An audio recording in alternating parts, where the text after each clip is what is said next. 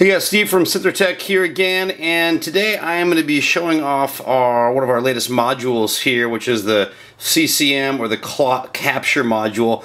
Um, it's intended for uh, a couple purposes, however it can be used in a lot of different applications. Uh, what we have here is there's an input jack right here, if you can see that, input.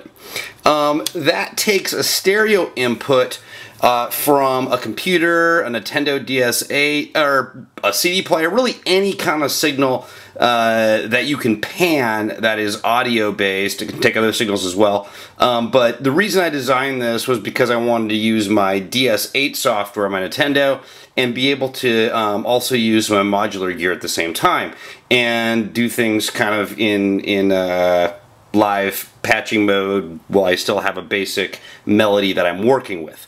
So um, I've already written a song and what I'm going to be doing is I'm going to be taking the full audio signal out, both channels left and right, and putting into my input of uh, the CCM here. Uh, there's also, as you can see right here, there is a through jack and that allows um, that allows the left or right channel um, it can be changed based upon your wiring. However, uh, the way that they're going to be coming out of uh, the box by a pre-made one, anything panned to the left channel, as you can see here, um, will will be affecting the clock.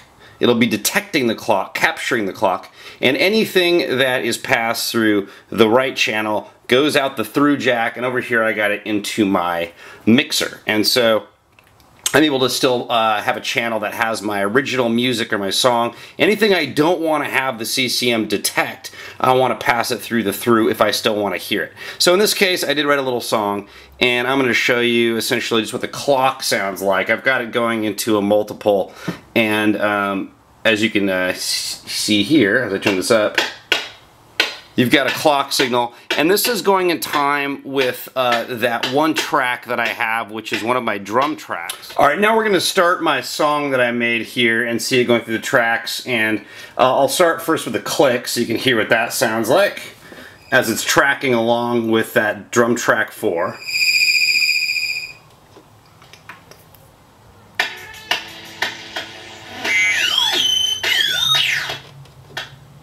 There's just that click. Okay, I'll bring in I'll bring in my uh, other track, which is coming out of the WoggleBug.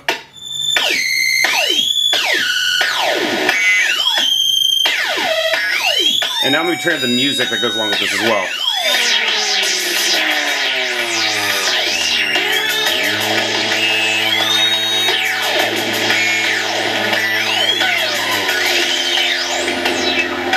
You'll see how everything kind of works together in time.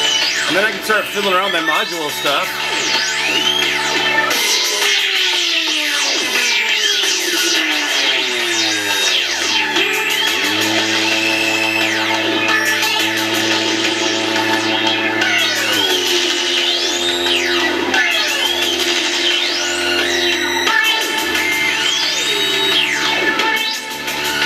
The influence adjustment here uh, detects more of the beat and sound that you're putting into this CCM and just kind of helps you fine tune it.